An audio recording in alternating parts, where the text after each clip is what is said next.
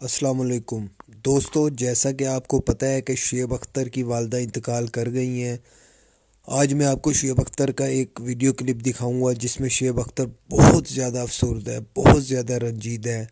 شاید آپ نے شعیب اختر کو اس سے پہلے اتنا غمزدہ اور افسردہ نہیں دیکھا ہوگا۔ اس میں کوئی شک نہیں ہے، کسی کی بھی ماں وفات پا جائے تو وہ غمزدہ تو ضرور ہوگا۔